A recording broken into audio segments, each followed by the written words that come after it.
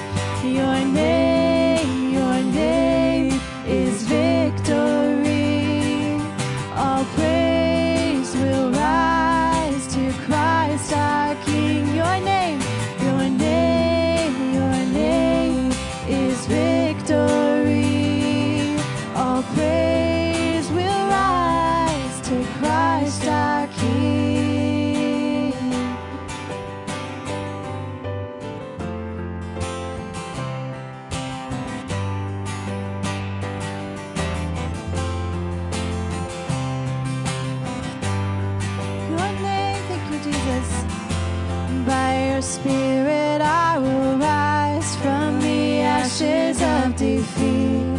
The resurrected King is resurrecting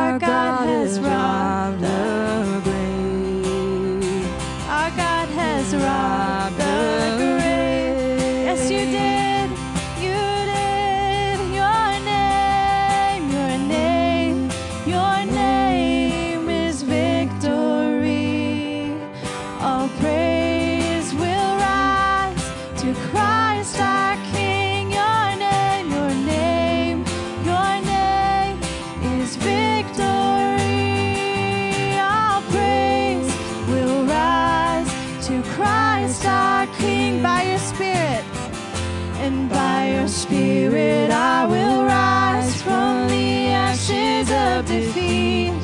The resurrected King is resurrecting me. By your name I come alive to declare your victory. The resurrected King is resurrecting me.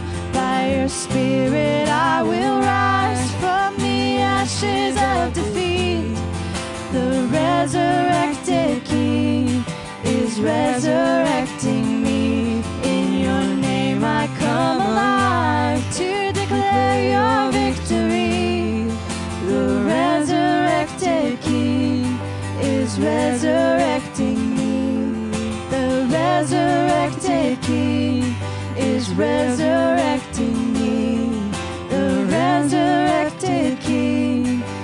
is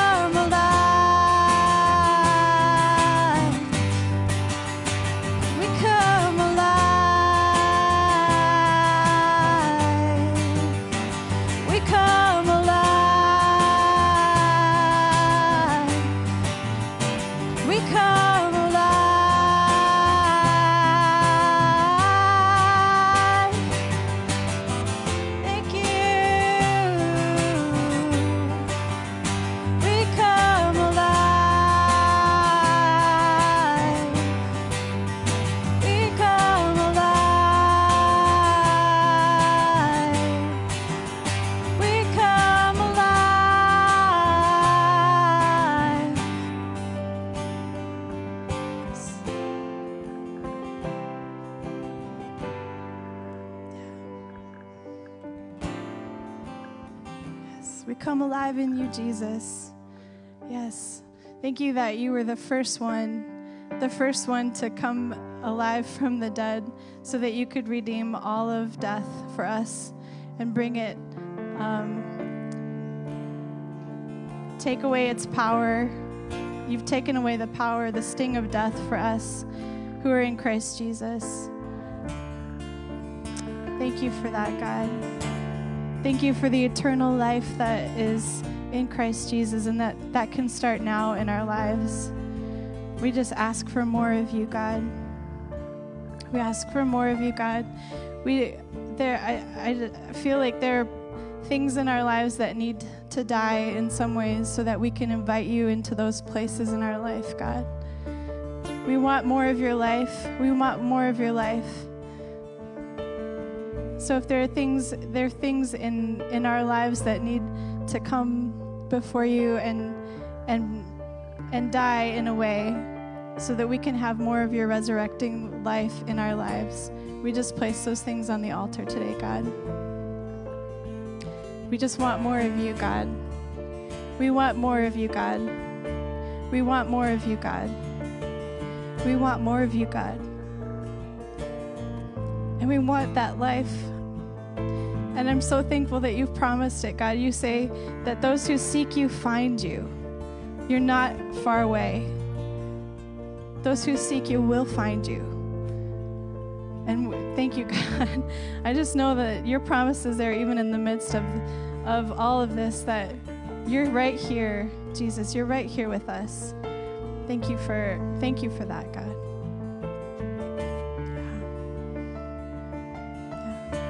More love, more power, more of you in my life. More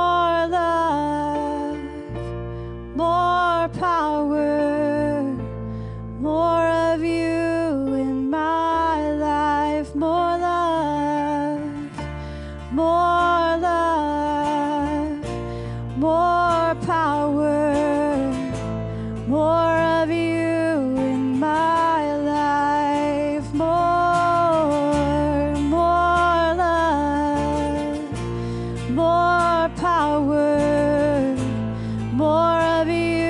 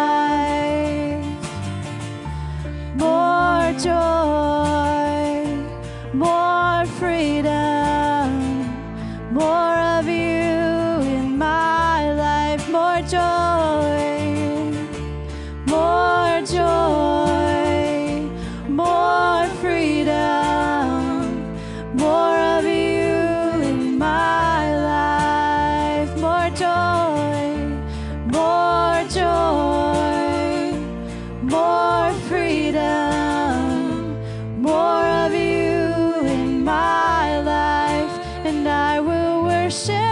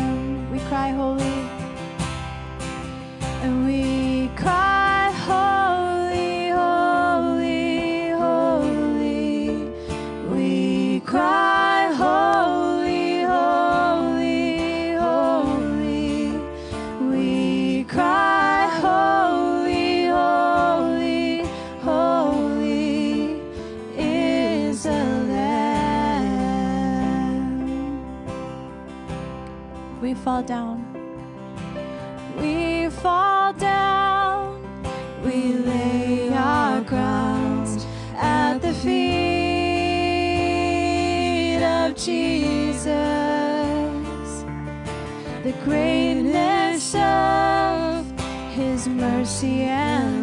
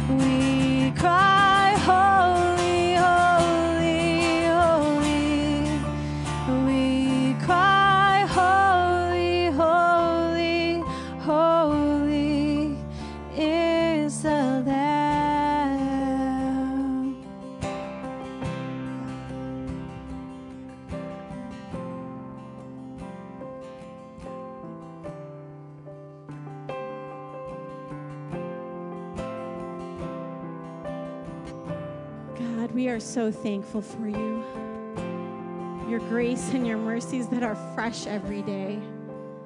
But more importantly, Lord God, we come to praise you and worship you because you give us the opportunity to just be at your feet and receive.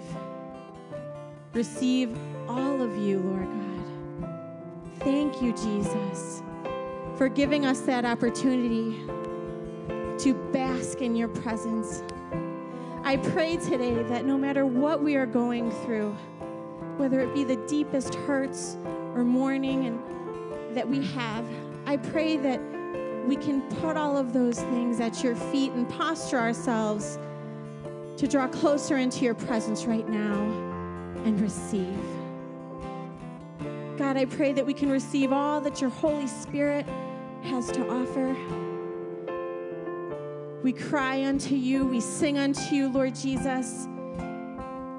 I pray that each individual, no matter where they're at, that they could position themselves to recognize that it is all about you and that you give everything of yourselves, that we could give all of ours and have that most perfect relationship. Thank you, Lord God, for that opportunity to love to show us what it means, uh, what that agape love really is, Lord God. I pray we can absorb that today as much as we need for our hearts to be broken, to see what you breaks yours, to be able to love the way you love us so amazingly, with so much grace, with so much mercy, Lord God. Let us give that out today, that same kind of love through whoever we encounter. But let it start with that absorption and that revival in us of what you can do and what you can stir in us, so much so that we cannot contain it. Because you are not a God that can be contained. Your Holy Spirit that lives in us cannot be contained. Outpour from your children today. Give them everything they need to fill them up and let it pour out into their homes and their neighborhoods, block by block, city by city. All for you, Lord God, all for your glory. You know exactly what we need in this very second, God. And we give each moment to you, Lord. I pray that is something that rings out beyond this service. Let it be humble, let it be true, but let it be with your all powerful Holy Spirit because you do give us more power. You give us more love that we can share. We love you, Lord. This is all for you. In Jesus Christ's name, amen. Amen. Thank you guys for joining us here today. We love you so much. We're so thankful for you can have a seat. Thank you, worship team, for just drawing us into the presence of the Lord. Just a sweet spirit is here today, and that's what we want to experience. Whether you're here in the sanctuary or whether you are with us online, we thank you. And we also just thank you for your prayers for this church and what what God has planned to do in the community this year and has planned to do in each of the leadership. But you know what? If you have prayer requests that you have uh, for your, in, yourself as individuals, for your family members, for the nation, for your city, you know what? We want to partner with you, and we have an opportunity where you can let our intercessory prayer team know of those needs, and you can email the church. There's a link through YouVersion all to just be able to partner together because we are a body of believers. We are a family, a church family, and we want to be that. So let us know those prayer requests, and we are here for you. Um, also, we want to let you know that there are several ways to give.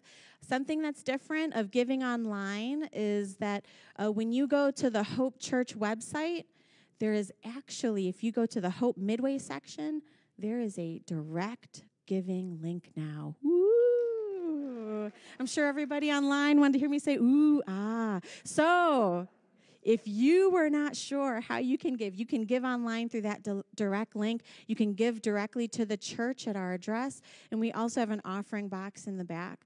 But these are the ways that we can use of our resources of what God has faithfully given us to be able to pour out and give to others. And we are so blessed when, with an amazing giving congregation. Um, but as we as we are going through this process of still upgrading and updating and different things, we have all of these links, and you can follow the sermon through our YouVersion event um, through the YouVersion app, which is free. Um, but also to know that we do have a church app that is going to become available. So there's a few edits that we want to do, but Midway, your campus, to next week. I know you're super excited, but next week I'm going to give you directions of how you can download that app and how you can just be with us all week long, right? You can never have too many apps, you know, it's free. So, but with that in mind, you know, you can access the registration link to the church, whether it's the through YouVersion, whether it's through the church app that we're going to have, whether it's just through the church website. Um, and we also have some special things going on for midweek. Uh, so, for midweek this Tuesday, can I have people say Tuesday, January 19th? That's a date to remember it's Coffee House. We are bringing Coffee House to Tuesday night. And for those that have not been a part of Coffee House, what this is, is this is an opportunity for people to submit those anonymous questions about God, religion, or the church. And so if you're following on YouVersion, if you've seen some links that I've posted through Facebook, you can submit those questions anonymously. And it might be something that directly you've had in your mind that you've never felt like you've fully had that answered or maybe, you know, your coworkers, your family members are asking you about about anything with God, religion, or the church and you haven't been sure how to word it properly. You know what? We have not arrived, right? None of us are have can say that we know it all about the Lord, and so we can grow together. And this is an opportunity to have a discussion and look at what the scriptures say and just honor God through truth and living through the word and what it says. And so this is an opportunity for, to do that. So 7 p.m. on Tuesday night, we have that available for you guys. If you haven't been with us for midweek discipleship, I definitely recommend it. I grow a lot, and um, it's just a very sweet group. Um, we also have something else that's coming up on Tuesday night um, the following week, which is the 26th. Uh, but we have a special speaker coming, and so we would love for you to join us. Both congregations are going to be joining together upstairs. It's going to be a really good time. So we have Coffee House this Tuesday, the 19th, and then the 26th, we also have an amazing speaker coming to share their heart of what God is challenging them with in this mission season. Thank you. Thank you. Uh, unfortunately, the 26th, we're not going to be able to live stream um, because the area that this particular missionary is going to is a very hotbed of a place, and so we can't really share that online. So, unfortunately, those are us online are not going to be able to see that. Um, but if you'd like to come for it, it's going to be an exciting time to get there and to see what God has. Um, before we go any further, you know, the word talks about us uh, rejoicing with those who rejoice and mourning with those who mourn. And uh, we got a lot of news just uh, today and this last week of some people who have had some people pass. And so I want to pray for those families that have been affected. Um, many of you uh, might know Esther. Um, uh, sorry, I just said Esther. Uh, sorry. Uh, many of you might uh, know a couple of different people that are, uh, that are here that have lost people. And Maria is one of them. Her sister has just passed. It's also Belinda's mother, um, just passed uh, this last week. And she lost another one of her sisters a couple weeks before that, unfortunately, and so they're having to deal with that, unfortunately. Um, we also found out that Nellie and Wilma's father passed away. I just found that out a little bit right before service. So we want to keep them in prayer. They haven't been able to be with us. They've been with us online. They haven't been able to meet with us in person. And also, uh, Graciela, our children's director, her daughter in law just passed away. And we just found out. And so we want to just lift up all these ones right now. Um, and, you know, the great thing is that they're believers, so we know exactly where they're at. Um, but at the same time, we still mourn. And so we just want to pray for these ones who have lost people this last week. Lord, we thank you so much we thank you that you help to comfort us. Holy Spirit, you are called the comforter. Because when we're shipwrecked, you help to bring us to that safe harbor, God, that place where we can hold on to that rock that's, God, just stronger than us, God, that is higher than us, God, that is so of a strong foundation. And so, God, we pray for these ones who have had people pass. God, we know that their faith with you is strong, but we also know they need your help during this time. God, they need your strength during this time. They need you to, to help to speak into their life. So I pray that you would in major ways.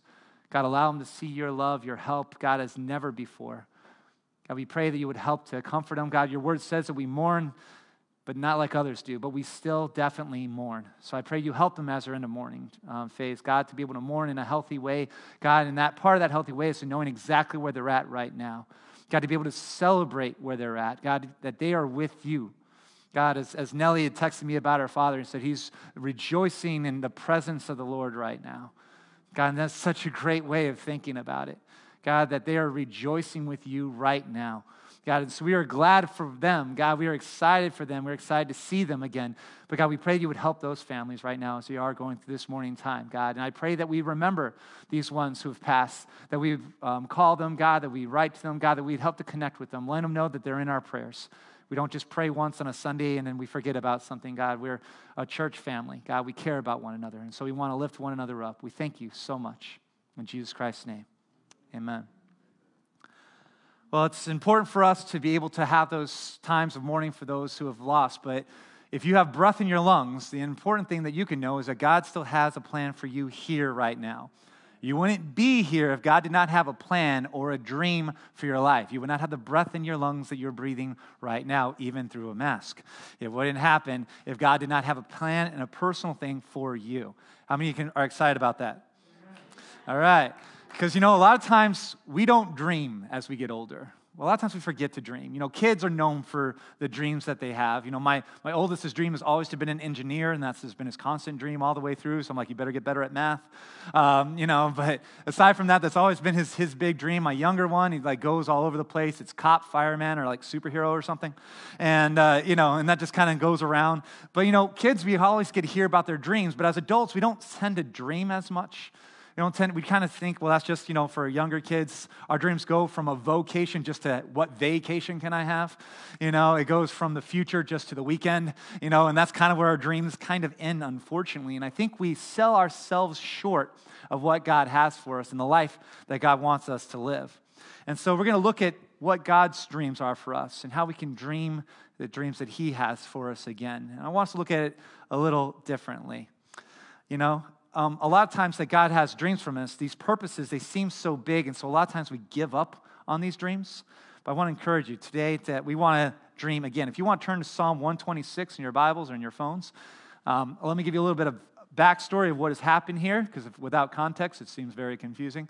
And so, what happens here is that the Israelites had been in exile. They had been um, taken away from their homeland there in Jerusalem, and everything had been destroyed. They came through, they ripped down the walls, they burnt the temple, they torched all the farms, they, everything was being destroyed. They took them all out to Babylon. They were stuck in Babylon for decades and decades and decades. And now they're finally able to come back. And this is a song that they are singing on their way back to coming back to Jerusalem. So it's exciting time. Psalm 126, verse 1 says, When the Lord brought the exiles back to Jerusalem, it was like a dream. We were filled with laughter and we sang for joy. And the other nations said, What amazing things the Lord has done for them. Yes, the Lord has done amazing things for us. What joy. It's a great way to start a, a song right there, right? I mean, absolute pure joy. Because they're saying we just feel like we're living in a fantasy right now because we could have never have dreamed that this was actually going to happen. See, they had given up on their dream of coming back. They had heard from the prophets and everything else that they were going to come back and that God was going to restore them. And they were excited about it at first, but they had given up on their dream. And so they were so blown away when they were told they were able to come back. I think a lot of times we can live like that. We can give up on a dream pretty easily because we say, Why live in a fantasy? You know, I've been waiting so long for something to happen, nothing's really happened. So why should I continue to dream if it hasn't happened yet? But I want to ask do you have a God dream? And if that answer is no, I want to encourage you in this. Because again, we can just go through just day by day and have that concentration and have that be our focus. But God's called for us to do something more. Now, what do I mean by a God dream? A God dream is, is not just uh, you know some kind of a promotion or more money or a living status. It's, it's so much more than this. A God dream is different. A God dream is selfless, it's motivated by love for others, and it's impossible to do on your own. Okay, so for those of you who are like, I've been looking for that sports car, that's not the God dream, okay? allow, me to be, allow me to be honest on that. Okay, God has so much more for you. And I think a lot of times we sell ourselves short. Well, I just, if I get this vacation, this is my dream, this is what I'm saving for. You're selling yourself short of what God has for you. We're just thinking that things that are here on the earth that everybody else is just focusing in on, that that's all that God has for us. But God has so much more. So I, I want us to dream again God's dreams. So God's dreams, they encourage our purpose. The reason you were created. These are the dreams that encourage us. It's important for us to see this because if we're not dreaming, we're simply surviving. Just going through day by day and just, okay, well, what's the next thing I need to do? Instead of actually seeing something more. And that's why so many people are just, just weighed down and tired from the day to day because they have lost their God's dream for their life have nothing more to look forward to except for this is what I'm supposed to do to get my bills paid, to do what I need to do for my family, or whatever else like that. And they've lost sight of why they were created. And this encouragement is, helps us for, because we are made for something more. Now, there's a difference between God's plan for our life and his dream for our life. Okay? We talked about this a couple of weeks ago. God's plans are a series of yeses that combine to build our purposes.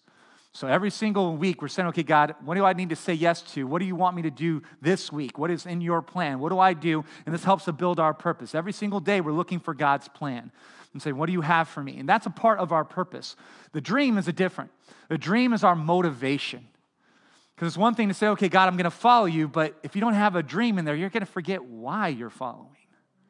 You're going to forget what's the point. And you're going to become a slave and not a child of God. And to say, well, I'm doing it because I'm supposed to, instead of I'm doing it because I get to do this together with my Father. And that's a very, very big different thing. And God has called us not to be slaves, but to be his children. He says we're co heirs with Christ. We're able to come together with Jesus and see something different in our lives. God has something different. God's dream motivates us. See, Israel had lost their motivation while they were in captivity. So they were told why they were in captivity to go ahead and to make a life for themselves while they were in captivity. It's not like they were just going to wait around and just, you know, kind of look at the clock for a while, but that they were going to actually say, okay, what am I going to do? I'm going to have kids, I'm going to build a home, I'm going to do all these other stuff in captivity. But they started just to get used to the simplistic stuff and just the day to day and doing that instead of dreaming. They missed it. I wonder if we can be like this and not really think about any future, not really have a dream. I wonder if we're content living like captives, just stuck in the daily struggle and the cycle of it all. Because a lot of us, that's how we live. Well, I'm just here on this earth. I just got to do all this other stuff till I get to heaven. We can be a lot like the Israelites. Well, I'm just going to make my best here while I'm here on earth. No, God has something more for us. He has a dream to motivate us, to allow us to see it in a different way. We're not just supposed to live day by day, but to have a dream and say, okay, God, I'm living for something more not just heaven. Because if all you're looking at is heaven and that's all, you're missing what God has for you here on earth. And God has you here. Again, if you're breathing, God has a plan, He has a dream for you. And so we have to look to see what that is. What do we want to see in this in our lives? Do we dream? Maybe you already know the dream that God's given you. Some of you in this room already know. And just like, yeah, I absolutely do. I know exactly what God has, you know, and I know what He has for my life, and I know what He has, but it's been such a long time. You've waited a long time praying for that salvation of a loved one, of a coworker, somebody within your cycle, and you say, I've been praying, I've been waiting for so long. I know it's a dream that God's given me. This person will come to know the Lord, but I, I haven't seen it happen.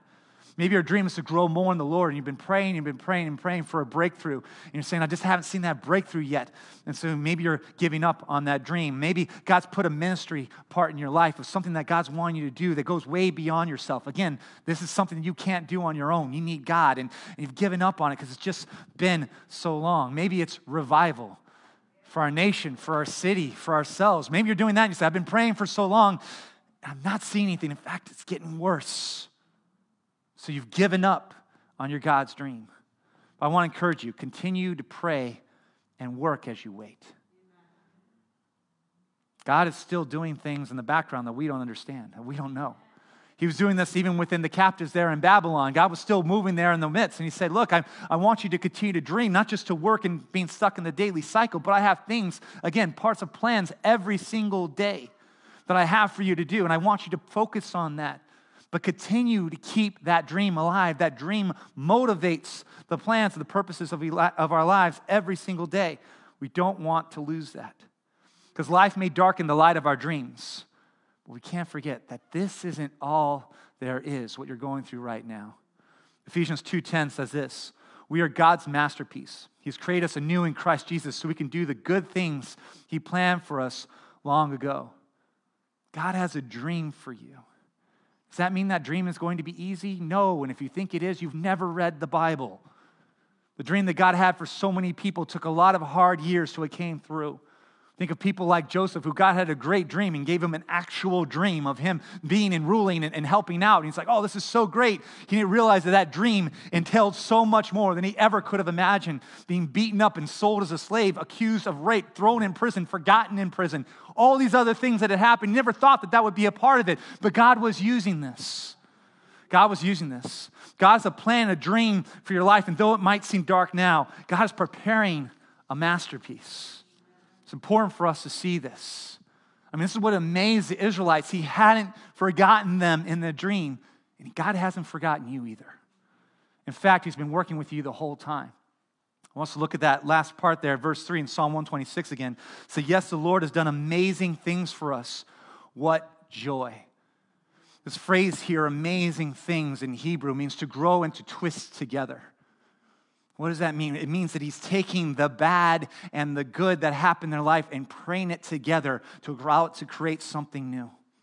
I mean, think of all the stuff that Joseph went through. If Joseph went through from being a kid with a dream to being in charge, he would have missed his areas to mature to be who he needed to be. He would have lost it. But because he had been in the lowest of the low in the prisons, he knew what they had gone through.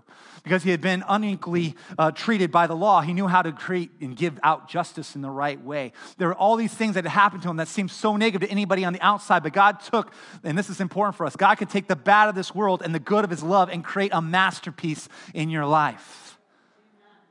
This is what God does. Don't miss the opportunity to learn through the pain and the struggles and the hard times that you have right now. God has something that He's going to twist together. And it's going to amaze you when you step back and look and say, I never would have seen that in a million years, that this would help me accomplish the dream that God has for me. But this is what dreams are that God does. And this is what He can allow us to see in His life. But how many of you say, Well, I really hate to wait for that dream to happen? I mean, Joseph had to wait 17 years, you know?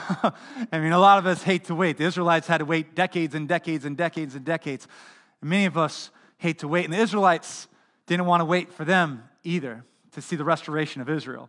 That's why we get verse 4. It says, Restore our fortunes, Lord, as streams renew the desert. So, what were they saying? They're saying, Well, we just don't want to wait because a stream would come into the desert and life would just flourish. They had these things uh, that are called flash floods. And uh, in the desert, you have no idea when they're coming. They just kind of come out of nowhere, and then bam, when they're done, there's all this life that comes out of nowhere that was dormant. These things that weren't there before, that as soon as this water hits it, it comes to life. So they're saying, God, this is how we want Jerusalem to be. When we get there, we want you to come in and help us to bring it to life again because they knew it was going to be hard. They knew it was going to be difficult. Jerusalem had been destroyed. The walls were torn down, the temple was destroyed, the farms were all destroyed. They had all these things, and they knew what they were going back to. They knew what they were going to see. They're going to have to rebuild Jerusalem. See, the dream that God gave was exciting, but it would take a lot of effort. This is something that we have to see in our lives as well. God, we just want to see it happen real fast. We want like a flash flood, allow this dream to come through and allow you to see it. And sometimes God does that. It's not that He doesn't. Sometimes God allows something to happen right away in our dream, and you're like, wow, that's awesome. You know, God speaks a word into your life, and it happens right away. And that's an awesome thing to happen. But a lot of times, you have to realize there's going to be effort to allow that dream to happen, because again, we grow through the effort. It's that twisting together. And a lot of times, we have to have that growth, and it's going to take some time for that to happen. But this is what they're asking. They want to happen. God, please bring life to these dead places. But sometimes we have to wait. Now, for some people that might be here today, you might say, well, you're talking about these God dreams that we should have for our life, but our country's kind of going down the tubes, so I can't really dream about something in the future when I'm seeing what's happening to us. And that's unfortunate what I've seen a lot of people doing. We've given up on our God dreams, we're just paying attention to what's going on in the news and saying, uh, how can I think of anything else when this is our reality? And so we've looked at that and we've had an issue with it. But I want to encourage you God's dream brings change. This should encourage us. This should actually encourage us. People have realized politics isn't going to bring change. People have seen the extremes on both sides and said, I don't want to have anything to do with it. They have zero answers. I think people are starting to open up their eyes and say, you know what? I think that God has a lot better than any other man. Because unfortunately, there's been a lot of false idols that people have made of man and said, well, they have the answer, and they've been following a person and not following Christ. And Jesus is saying, No, I got something more for you. I got something different. I got something better. The one we follow is Jesus, not some stinking politician. Sorry. but I want to encourage you this is the perfect time to have a God dream. This is the perfect time to look for it and to see it and see what God has for you. I mean, people's idols are falling. False prophets are being pointed out and saying, okay, don't follow that moron anymore. You saw what they said was wrong. You never follow them again. How about you follow Christ? People are starting to see this. They're starting to see the difference. They get back to his word instead of saying, okay, I'm just going to listen what's on YouTube or listen what's on this podcast or everything else. How about I just get back to his word and follow him? People are starting to dream God dreams again by getting back to the author of the dream. And that's the only way we get there. Because there's so many people that are saying that they want revival. Revival is not going to happen by politicians, it's going to be happening by people following God's dream for their lives. This is important. For revival, you can't revive something unless it's dead. I think the church in America saw how much it's been dead for so long. They're saying, no, we need to revive it again. We need to revive what God has. We need His dream again in our lives. We need something different. And it's only going to happen by following God's dream for our life because Jesus has the answers people have been looking for. And if we follow His dream, it's going to bring change. John 10:10 10, 10 says this. The thief's purpose is to steal, to kill, and destroy, but my purpose is to give them a rich and satisfying life. We've seen what the enemy has done for so long. Has stolen and has killed and has destroyed so many things. But Jesus brings so much more. I mean, think about what the life that Jesus brings us that helps this world that's lost in confusion. Jesus is the answer to our problem with sin. He's the answer to our separation from God. He's the answer to guilt and condemnation. He's the answer to fear and worry. He's the answer to relationship problems. Jesus is the answer to sickness and disease. Jesus is the answer to racism, sexism, treating everyone with contempt or malice. This is the life that Jesus desires to give. This is that rich and satisfying life, and it doesn't have to be a dream. This is what he wants for you and for me. This is what he wants for our city. He wants for our community, what he wants for our country. And it happens by us saying, I want to follow his will, his dream. This should motivate us. When we look at TV, yeah, of course, you know, you look at the news and stuff like that, that will discourage you. But when you look into what God's dream is, that will motivate you and say, God, use me. Don't just allow it to happen. God, use me. Let me be a part of it. These are people who came back from Babylon saying, We're going to rebuild Jerusalem. It's not going to be a dream of someone else's, of a wish. It's going to be a reality because God is going to use us to make the change. We have to have that same idea. God, use me to make the change. This is a part of why Jesus came in the first place, for his kingdom to come, his will, his dream to be fulfilled. And that's what God wants to use you and me to be able to do. That's encouraging. Now, I know I, I want to see it come quickly like water in the desert, like the Israelites did. but again, sometimes it may take time. Sometimes it goes like the rest of our psalm today, 126, verse 5 says this Those who plant in tears will harvest with shouts of joy. They will weep as they go to plant their seed, but they will sing as they return with the harvest. And what is this talking about with them weeping and, and how they're planting? Well, when they were to build up Jerusalem again, they only had so much seed to use. They were given things from the Babylonians. They were given some stuff, but they only had so much seed. And they knew if they planted it, that meant less food that was in their families' mouths. They said, Well, what, what can I do with this? This is all I have. So I have to say, what, what am I going to do? They only had so much seed to dedicate, so they had to make wise decisions. Okay, this is food that can go into my family's mouth, or I can plant it knowing that it's going to yield more. What do I do? I have to make this decision. The same decision many of us have to make as well. You only have so much time, only have so much money, so much energy, and we need to make decisions as well. God, this is all I have, and, and I can use it right now for something important for me right now, where I can plug it into the kingdom and allow it to do something greater. What do I do? And it's not an easy decision to make. I know the church answer is, of course, you give it all to God. I mean, that, that's a church answer, okay. But I love that the Bible is real. It's written by real people. And they're saying, this is a hard decision to make. I need to have wise decisions on what to do with my seed. I need to know what I'm actually doing. I, I have to have this. Because it might not seem like much, but they knew that this little bit that they put down, that it would make a change. You might say, well, Pastor, I, I don't really have too much to be able to give to my friends, to my community, or anything. I, I might not have much. I'm not that influential of a person, or whatever garbage that we try to tell ourselves. You might see it just being a little bit, but God says, if you're willing, I'm going to create something great with it. I'll create change. You give me your little bit, I'll show you what I can do. He gives the lot.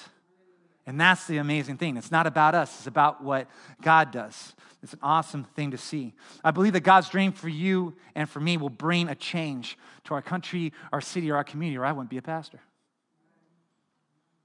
I mean, honestly, if I didn't think that God was going to do something different, if I didn't think that God was going to use you in a great way, I wouldn't be here. Because I'd be wasting your time, I'd be wasting my time. But I know what God can do. And I'm encouraged on what God can do.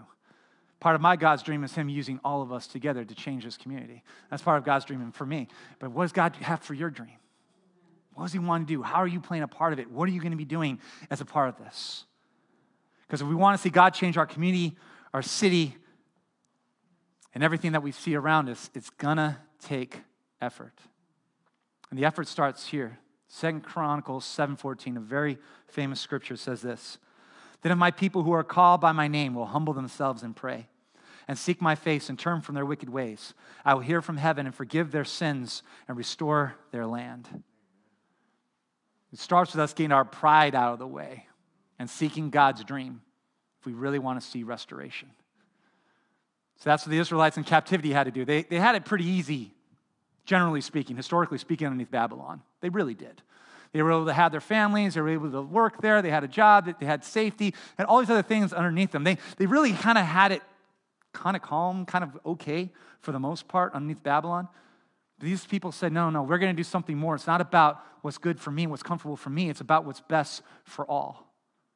So they went outside of themselves and they helped out and they reached out and they shared.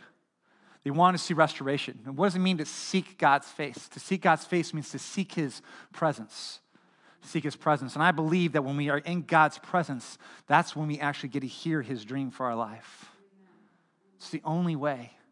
It's the only way to truly get to his dream in our lives is to be in God's presence and to say, God, I'm giving you everything. I'm pushing everything else aside and just focusing in on you. It might be planning with tears. I'm not saying it's going to be easy.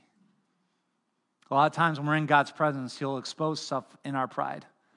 He's even said, you know, in term for the wicked ways, there might be some stuff that He's going to be using a scalpel to kind of take out, but how many of you know that when you take something out, that you can heal correctly?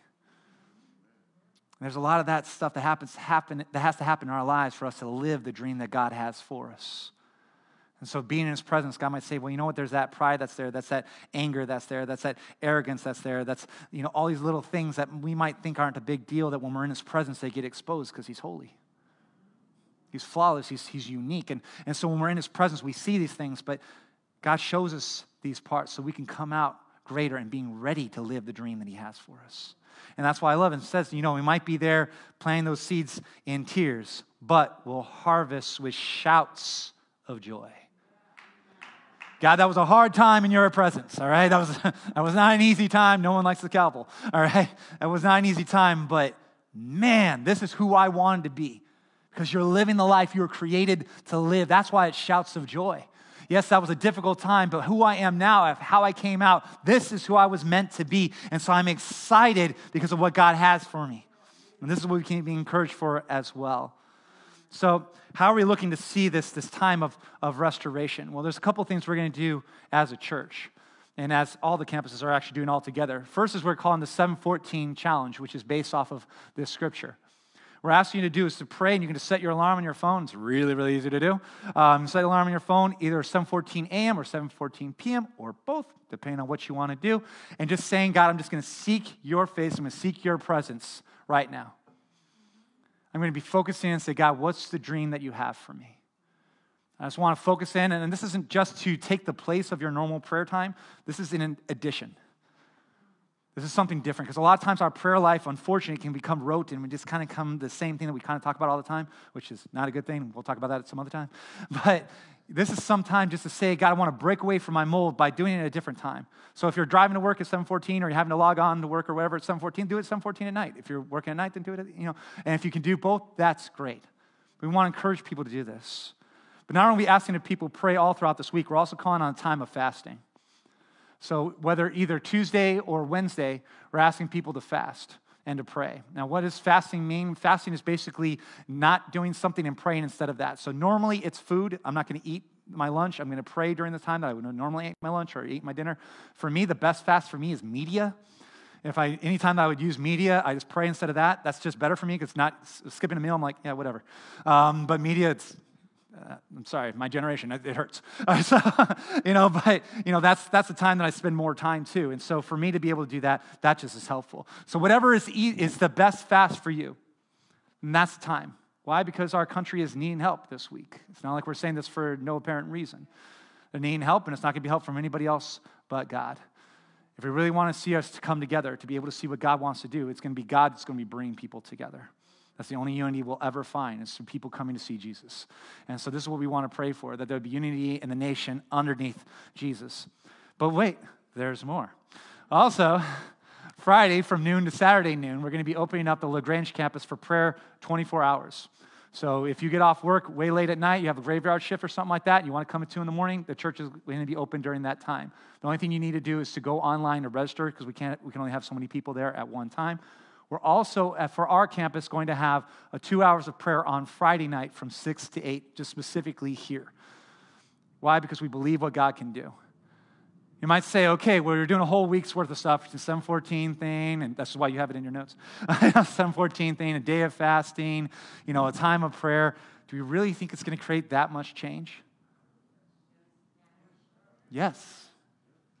Yes. There is power in prayer. I believe that there will be change that happens. But also know this it's also the start of the change. Because you're going to start to see things. You're going to say, wow, that was really good. I planted this little time, 714. it wasn't much of a big thing. I mean, it was a little bit hard, you know, because it's out of my day. And I planted this, and wow, what did I get out of this? This time with God, that was amazing. I want to plant more of that. This fasting time that I had, and, and God spoke to me in ways that He's never spoken before. I, I want to do that more. I want to get involved in that more spending out time outside of my on the weekend that I think about of just doing whatever, and now I'm concentrating on God, that's going to help to change us. These little things that we're planting now are going to harvest shouts of joy, and we're going to be encouraged to do more and more of this in our life. Amen? It's important. Spending time in His presence is going to help us to re- be refreshed, to be encouraged, and to be inspired, to be motivated towards God's dream for our lives. But I want to encourage you with this as we close. Notice that in Psalm 126 shows they didn't just pray, they planted. And this is unfortunately what the church in the West has done so long that kind of drives me up the wall. God, we pray that you will bring revival. God, do something great in our country. God, we're giving everything to you. We know that you are the Lord. We are the master. You're going to work and you work in people's hearts. We thank you so much. I'm going to go back to my daily work. And God says, uh, Yeah, I've created you to plant, not just to pray. Prayer is where it starts. There's no way around it. There's no quick way. I mean, the streams in the desert, God just do something. No, no, it happens through prayer. That's where everything has to start. There's no shortcuts. It's just like farming. You might want a shortcut, but no, you got to actually go out and do the work. There's no shortcut. So prayer is where it starts. But planting is a part of that, of us actually doing the work. It's a part of it. If you think about it, if they didn't get involved in the dream, it would have just been a wish. And unfortunately, that's what we do a lot of times. I wish our city would change. I wish the crime rate would go down. I wish people would come to know Jesus. I wish that coworker would be able to stop having that stupid anger that they have. You know, all these wishes that we have, but what do we actually do about it? God's dream is only a wish if we don't get involved. God's called us to do something more than just say, I prayed, so therefore I did my job. Prayer it starts, then we plant. We have to get involved. Volunteer opportunities aren't for someone else. That attitude has to go. And say, God, allow me to be used. Allow me to be planting. I'm not just waiting around for someone else to do it. God, what is the need? What is the need? And that's a hard thing to say because this is what we normally do okay, well, we need help in kids' activities downstairs. Well, I don't have any kids right now, so, you know, I'm good. We need help out with tech. Yeah, not sure if I know that. It's very easy for us to do this, but this is what the Israelites did when they were coming back to Jerusalem. They said, you know what, we're gonna have to rebuild walls, we're gonna have to build a temple, we're gonna have to farm, and you know what, we're not qualified to do all these things, but I'm going to help where they need me. Because otherwise, nothing's gonna get done. Jerusalem would have just been a pile of rubble and the dream would have never been fulfilled if they didn't say, What do you need? And Allow me to help out with it. In fact, that's what Nehemiah said when he came back. He came back to see the exiles, this leader, Nehemiah. He came back and he looked over there and he saw people were just working on themselves and they weren't working at the rest of the city. He said, Look, it's all open. Nothing's going to happen. You've lost the dream. You came in here with a great idea here in Psalm 126, but then you got caught in your own place and said, This is where I'm at. This is my little area. I'm going to stay here and not help with anybody else. He said, You're missing it. You're missing it. We have to come together as a community if you want to see change in the community. We have to come together as a church if we want to see change in our community. I want to encourage you on this. It's important for us to see God has something for us to give to everyone. 1 Peter 4:10 says, "For God has given each of you a gift from his great variety of spiritual gifts. Use them well to serve one another." And for those who want to stop and say, My spiritual gift is to pray, again, that's where you start. The spiritual gift, that phrase there is a gift of grace. And saying, God, you've given me all these things for free. What can I give for free away as well? You've given me all these things. You never asked a thing for me. What can I do for you? What can I do for you? And just having that mentality, it changes everything. It changes everything. I love this uh, definition of the spiritual gifts. The spirit empowered service to the church is to carry out his plan for his people. If we really want to see God's dream come, we have to say, God, what can I do? What can I do? How can I get involved? Because God's dreams come true through the perseverance of his people. That's where everything changes. That's where everything shifts. Because again, for Israel to be able to function would take many people doing different tasks, but they came together with their dream and they thrived. Unfortunately, so many times we rely on somebody else to lead the charge and we don't get involved. We're talking about this dream right before Martin Luther King Day tomorrow, who's obviously his most famous speech is the I Have a Dream speech. Fortunately, when Martin Luther King passed away, his motivation, which was said in that speech of why he was actually doing the things he did, who picked up the mantle? People looked at him and said, Oh, wow, that's such great. We can rally behind that guy. We love that dream that he has and, and what he's doing. And then they saw some things happen, but then it stopped and it ended. And that's why we're at where we're at today. Because nobody picked up the dream. If we're just relying for someone else to live the dream and we're not being a part of it, we're never going to see the change that God wants to bring. God has something more for every single one of us. Don't just say that's somebody else's job, that's somebody else's dream. God has a dream for you. He wants to work inside your life to create real change.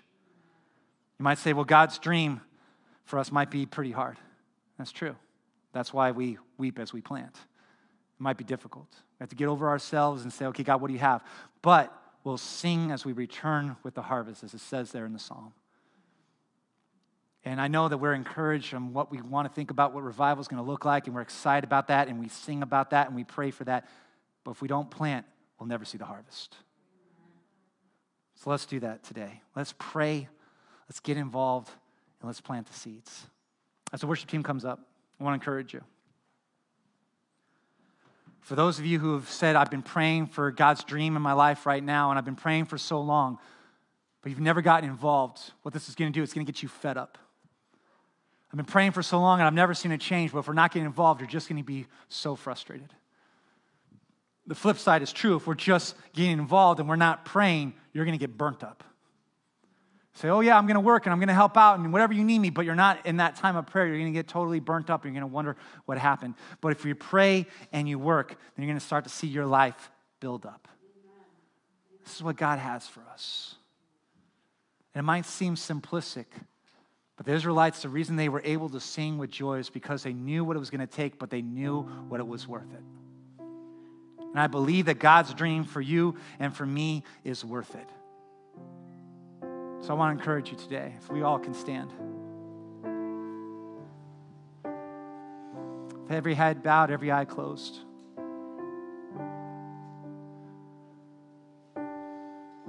We're going to do something just a little bit different today, and we're just going to have a time we're just seeking God's face together. Because remember, seeking His face is seeking His presence. Some of us, we need to start to dream. Say, God, show me your dream you have for my life. I've just been stuck living like a captive, stuck in the daily cycle. But God, I want to dream your dream for my life. I need motivation to follow your plan. Ask God for it. I guarantee He'll give it to you. And it might not be like a stream in the desert and it'll happen in one time of prayer. It might take a while of planting in tears. But I guarantee you, you will harvest with joy when you find that motivation, that dream for your life. For those of you who've just been praying and not gotten involved, may God talk to you and challenge you. Again, God will not condemn, but He will convict, and conviction is for our good to help us to get to where we're supposed to be. Maybe God's saying, well, you're wanting to see a change in our community, you're wanting to see a change in our area. That change starts with you. How can you get involved? What can God do in your life? You might say, I don't have too many talents. I guarantee if you just call me up and say, hey, Pastor, how can I get involved? We will find a place. I guarantee it. It's a call every single pastor wants. The same time, for those of you who have been helping out, we have amazing volunteers who give up so much of themselves. We don't want to see you burnt out either. I want to encourage you to get involved in prayer like you never have before. Get into his presence. Seek out his word. Allow his word to encourage you as you pray, that he can bring up your scriptures to you and speak this life over you. You need to know how well you are valued by your Father. For those of you who have been praying and have been working, allow God to continue to bring that dream alive. Ask Him to continue to motivate you. Ask Him to continue to speak to you. Jesus, we thank you so much. As we're having this time, we're just seeking your face.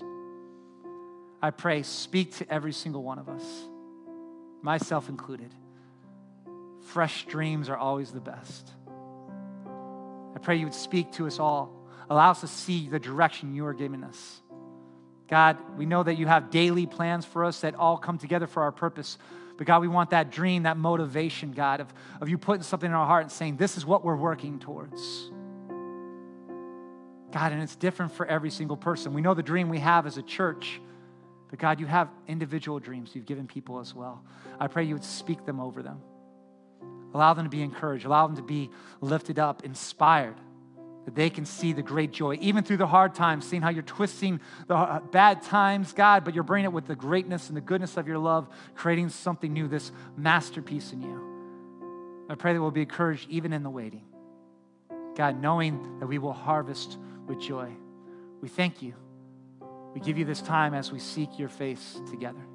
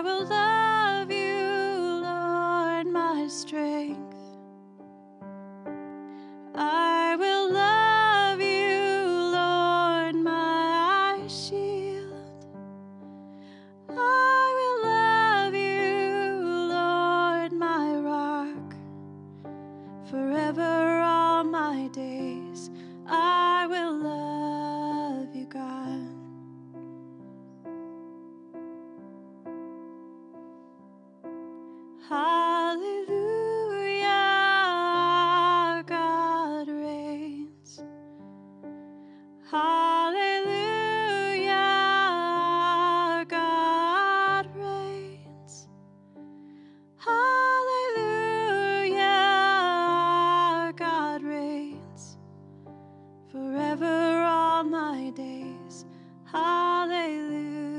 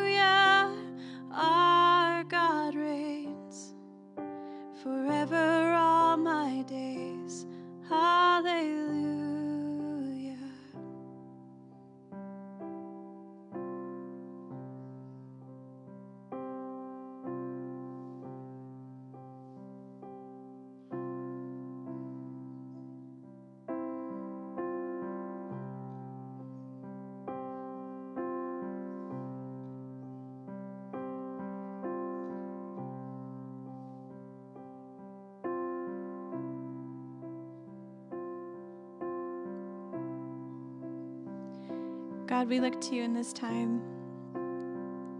We thank you for continuing to speak to us, that you have a fresh word for us today, that you do still have dreams for us. Like Pastor JJ said, as long as we're alive, as long as we have breath in our lungs, you're dreaming with us, you're dreaming over us, and we can tap into that or we can ask you for what those dreams are for our lives. Reveal to us god just this next this next step for this next season god. I just pray that we would be able to be faithful to that. And i pray that you would just pour out your presence and your joy that every every move that we make every step that we take in step with you um, also contain the fruit of your spirit. Thank you, God. Thank you for everything that you're doing in each one of our lives, God. And we ask these things in your name. Amen. Amen. Lord bless you. You're dismissed.